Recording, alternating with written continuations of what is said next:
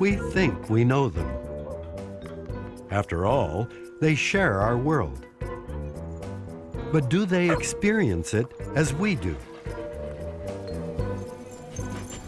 Each of their senses reveals a reality that's not quite the same as ours.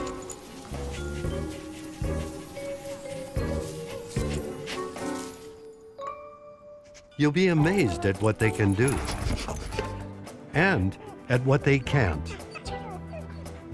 Over thousands of years, a unique relationship has been forged between two very different animals.